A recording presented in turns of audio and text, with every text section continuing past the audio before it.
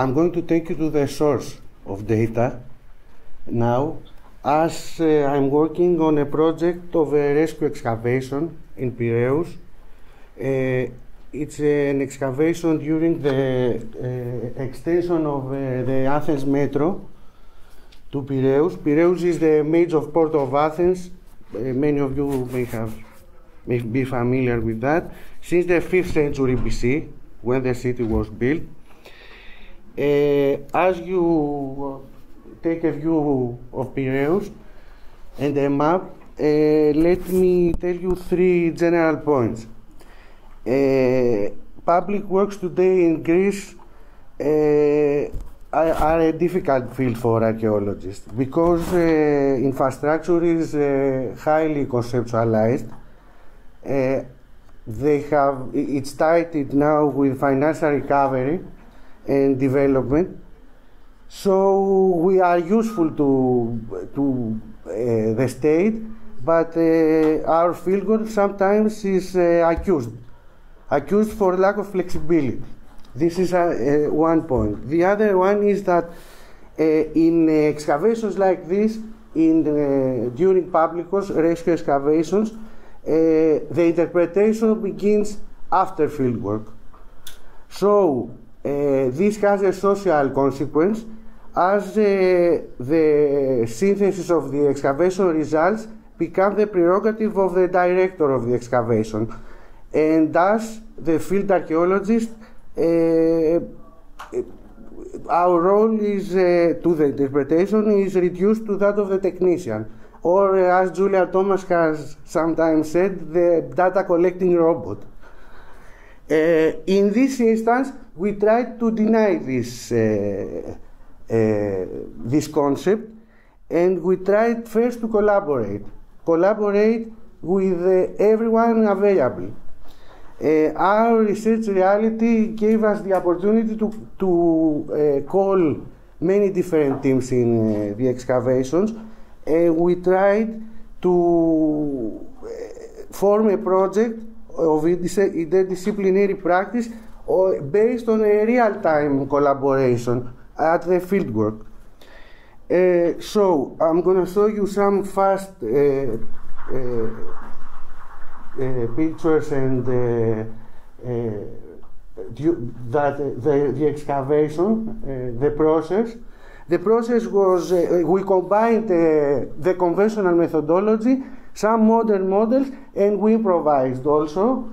Uh, we had on, uh, uh, on the surface an underground excavation this is from the underground excavation. And this is our finds collection system, the processing system for the finds from the fieldwork to the lab.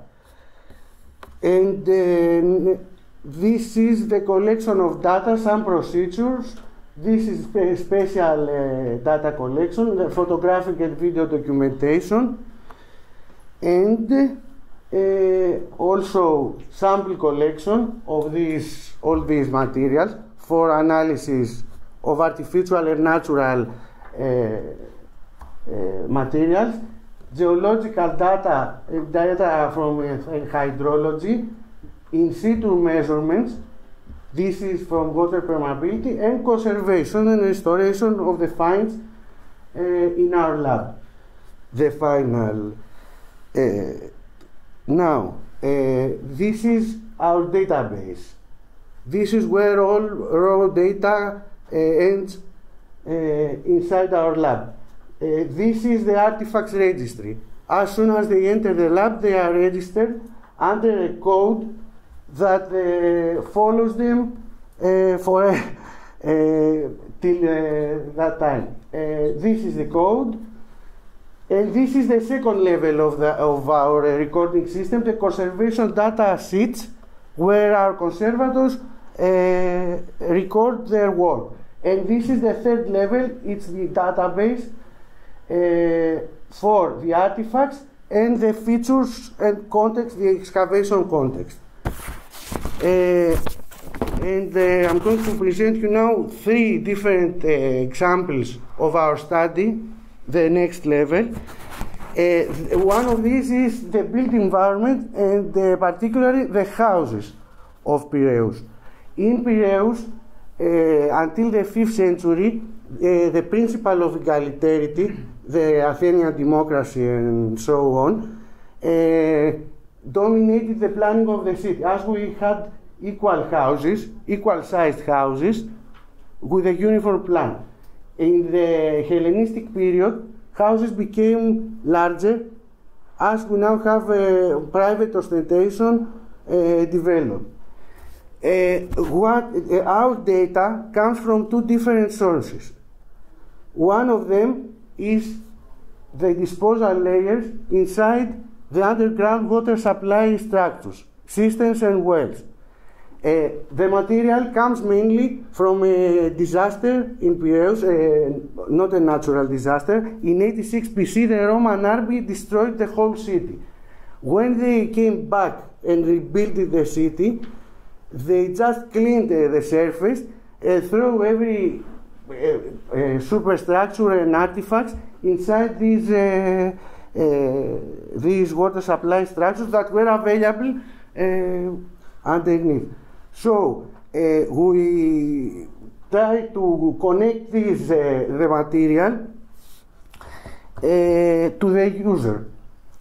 As we, we didn't want to just form typological series of objects, we used and we formed our database in such a way that we can uh, try to place the objects in the hypothetical representation of the original framework.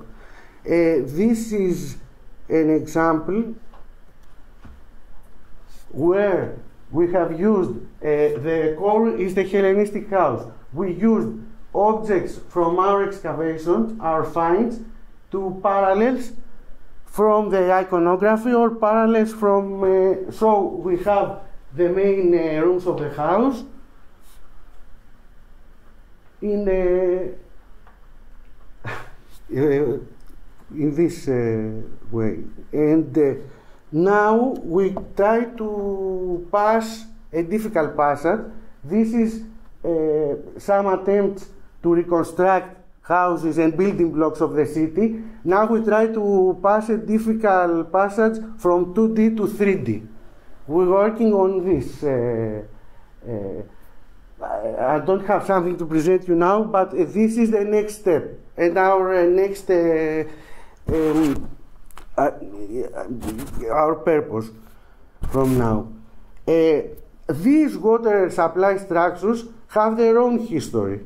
Before uh, becoming uh, garbage uh, uh, like repositories, we found 130. This is our biggest excavation, the largest one, the final station of the line.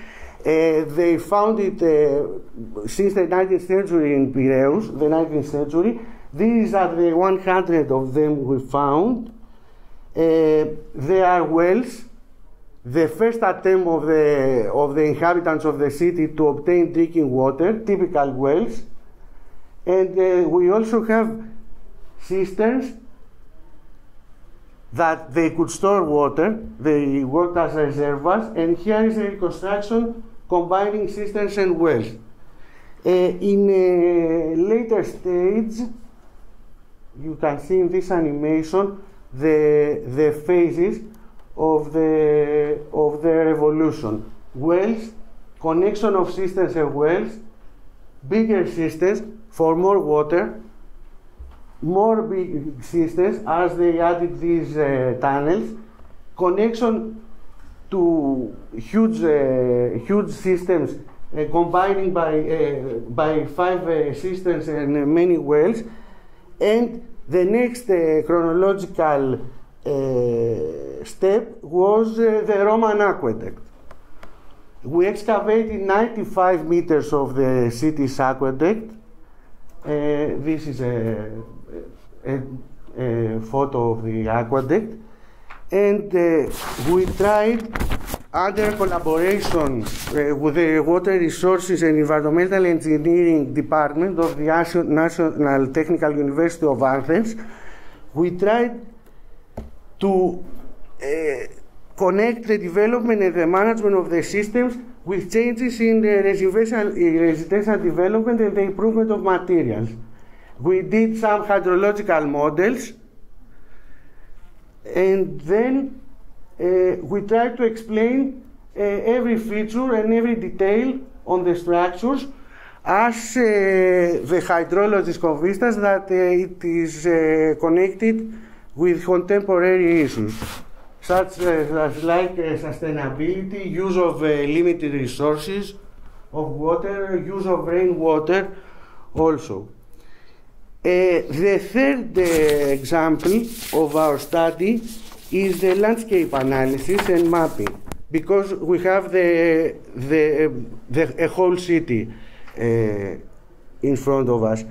Uh, we have maps since the, since the, since the, 19th, the 19th century. This is the first one from Kaupert.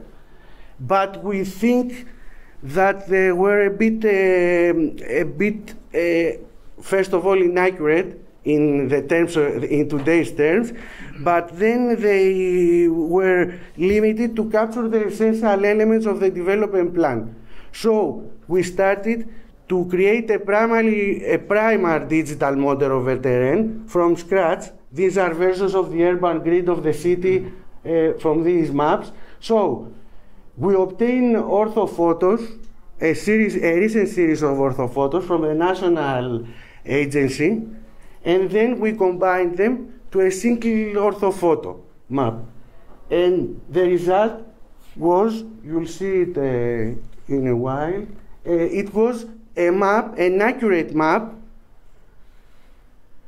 that we could annex first our excavations, our major excavations, and then try, this is an AutoCAD environment, uh, we scanned we have now scanned over 30, uh, uh, 300 uh, plans, original handmade plans, and we annex them on, on this map, this, on this accurate map, in order to start the explanation and the reconstruction of the city grid on accurate, on accurate terms. In some cases, we went back to excavations that today are visible, they are not under buildings and things, and we collected points. Uh, that because we didn't have accurate uh, accurate drawings. And uh, then we had another uh, cooperation with the Urban Environment Lab of the National Technical University of Athens that resulted in these thick maps. This is what they called it, and we have no reason to doubt it. Uh, where we, ca- we can now uh, we can fill them with layers of our, of our data, data collected from various sources, just as uh, you'll see some layers, and then I'll tell you to the. This is the orthophoto map. This is the basic map we formed, and then we start to add layers: city walls, ancient shoreline, and, and many uh, sites uh, in categories, workshops, basic uh, categories. You'll see the, the map filling uh, resides